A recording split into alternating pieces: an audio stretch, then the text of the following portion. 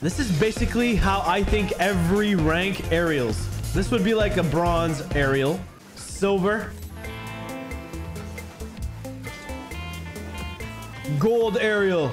Yeah, just slowly get it. Yeah. Platinum typical aerial. Oh! This is how I think diamonds aerial. Oh. Okay, dude. Champion one, champion two players. I mean, you're starting to understand the aerial control stuff. So I guess something like this would be kind of cool if you scored. Low C3 to GC. I mean, ceiling shots, resets are definitely becoming a thing. You're starting to get those musties.